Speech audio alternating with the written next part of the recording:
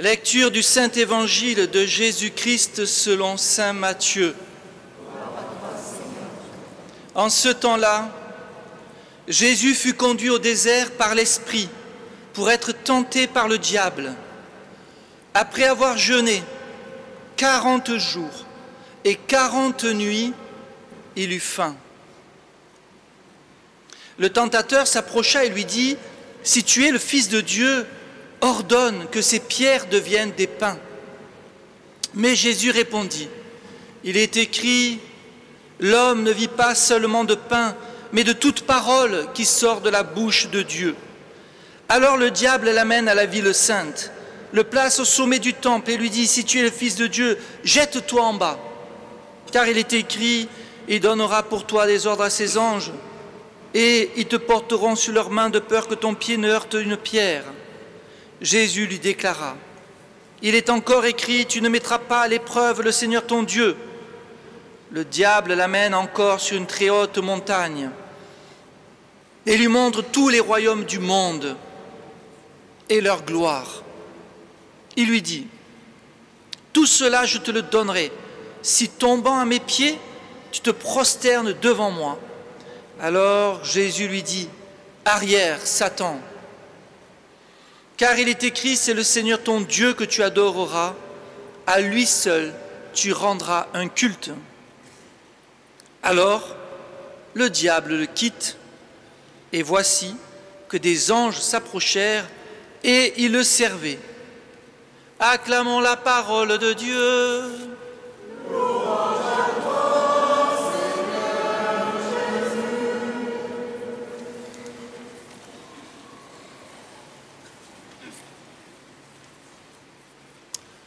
Lorsque j'étais enfant, je n'étais pas pratiquant, mais j'allais dans les Cévennes chez ma marraine.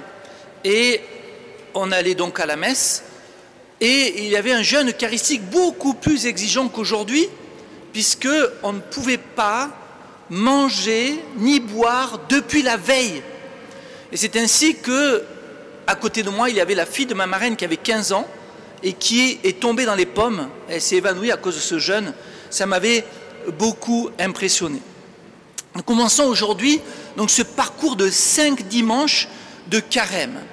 Autant de dimanches, tous les cinq au mois de mars, que de pierres dans la petite besace du petit David qui a réussi à terrasser Goliath. Donc autant de dimanches et de pierres pour terrasser, si possible, notre Goliath intérieur, celui qui nous mène un combat contre notre union à Dieu. Alors je voudrais euh, aujourd'hui, puisque la liturgie nous présente Jésus qui part 40 jours au désert et qui jeûne pendant 40 jours, je voudrais vous proposer comme première pierre, pour toute votre vie, hein, pas seulement pour ce carême, l'importance du jeûne.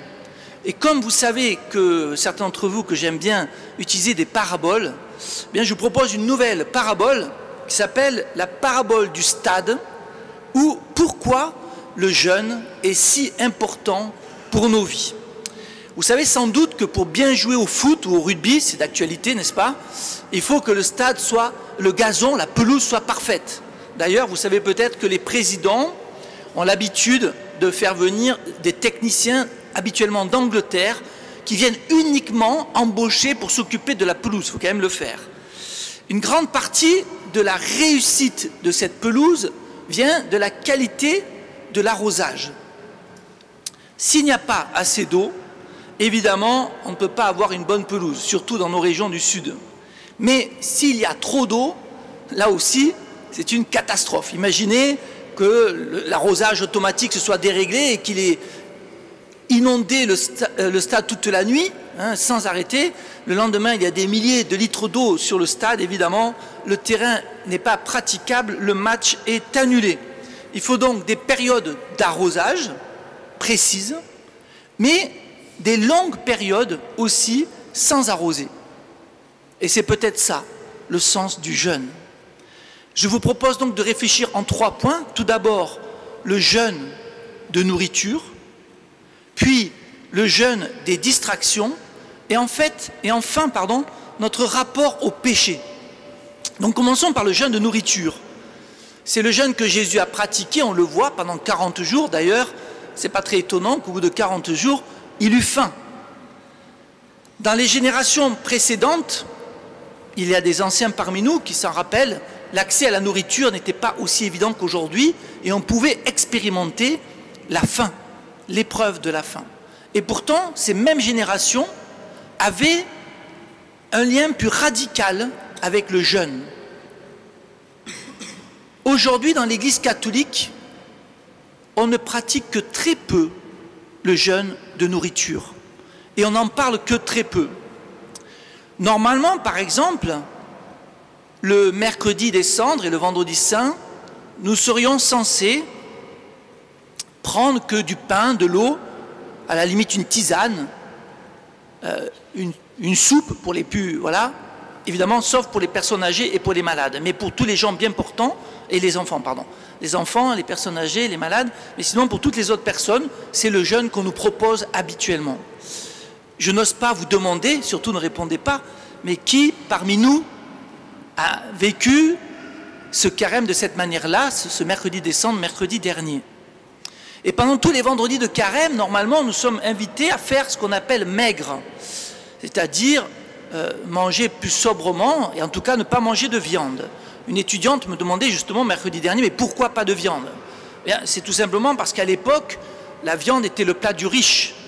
Certains d'entre nous ont connu un plat de viande uniquement le dimanche. Parfois c'était le poulet, n'est-ce pas Aujourd'hui, et à l'époque, le poisson était un, plat plus, abordable, on va dire, un plat plus commun, plus populaire. Aujourd'hui, les temps ont changé, le poisson est même devenu plus cher euh, que la viande. Aussi, si parmi nous, il y a des personnes qui le vendredi de carême s'abstient de viande et le remplace par un bon saumon grillé, eh bien, je pense qu'il n'a pas tout à fait compris le sens du jeûne.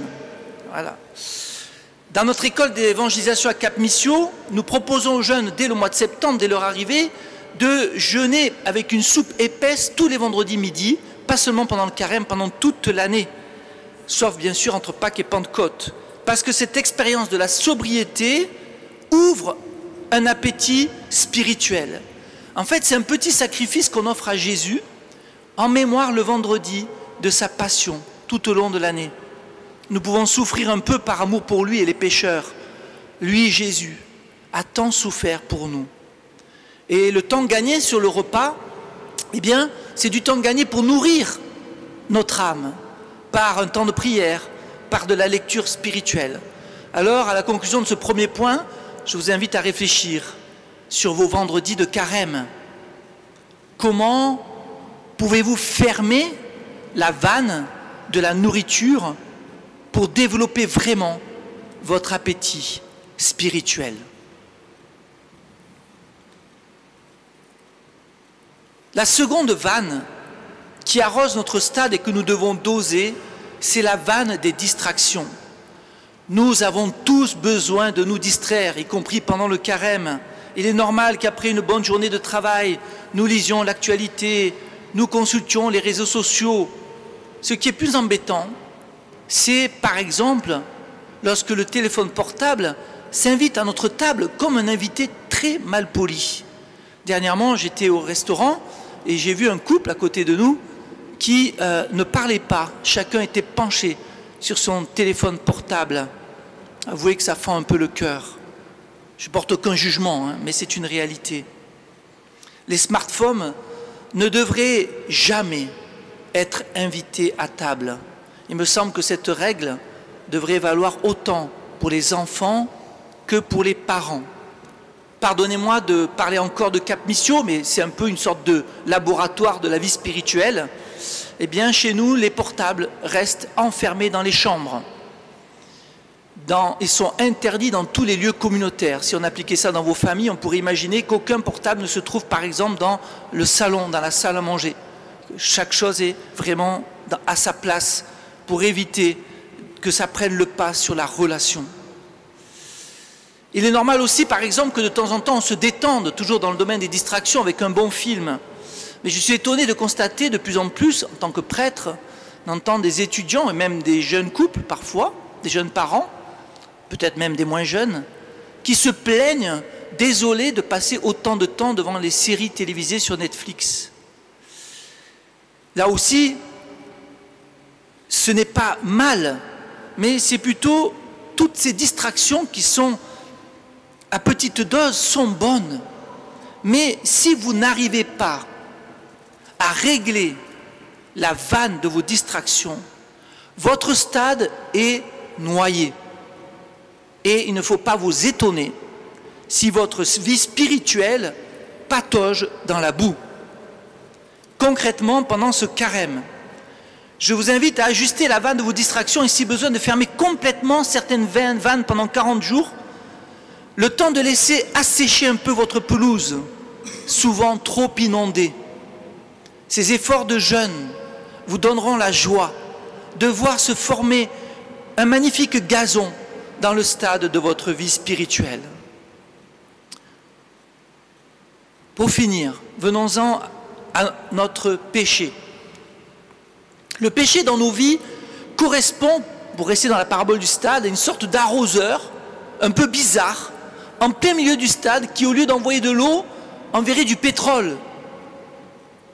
Nous avons peut-être dans notre vie une nappe souterraine de pétrole qui correspond au péché, la drogue, l'alcool, la relation sexuelle hors mariage, la pornographie, le vol, la malhonnêteté, le mensonge, l'orgueil, le mauvais esprit de critique, etc.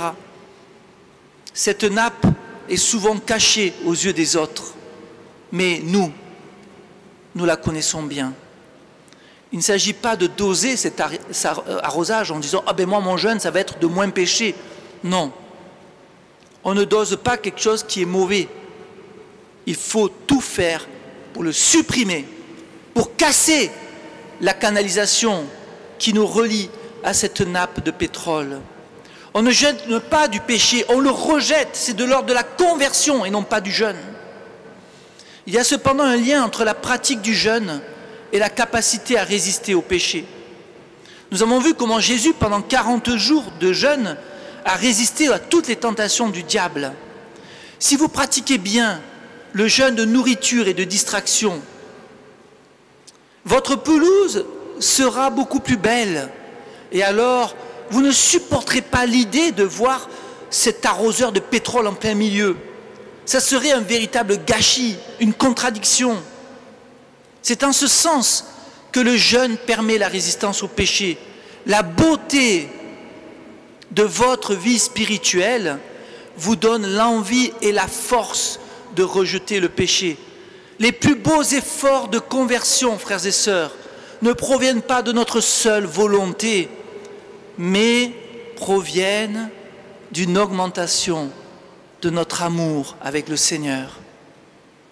Prenez vraiment la résolution de jeûner et vous aurez la joie d'arriver petit à petit à supprimer beaucoup de péchés dans vos vies. Pour conclure, je voudrais vous rappeler ce que Jésus nous a dit dans l'évangile de mercredi des cendres à propos du jeûne. Et toi, lorsque tu jeûnes, ne prends pas une tête d'enterrement, mais parfume-toi la tête et souris. Le pape François a écrit dans sa première exhortation, La joie de l'évangile, qu'il faut que les chrétiens cessent d'avoir une tête de carême sans Pâques. C'est bien trouvé quand même, hein une tête de carême sans Pâques. J'aime beaucoup citer Nietzsche, qui disait, et il avait raison, je commencerai à croire en Dieu lorsque les chrétiens auront des têtes de ressuscités. Alors je vous en supplie, frères et sœurs, je vous en supplie, faites des efforts pour avoir une magnifique pelouse spirituelle, en jeûnant de nourriture, en jeûnant de distraction, rejetez le pétrole du péché, mais surtout, surtout, jeûner de la tristesse. Pendant ces 40 jours de carême, ouvrez en grand les vannes de votre plus beau sourire, car c'est vrai, quel que soit l'état de votre pelouse, le Christ est ressuscité, il a obtenu la victoire. Souriez, soyez dans la joie, car le match est déjà gagné. Amen.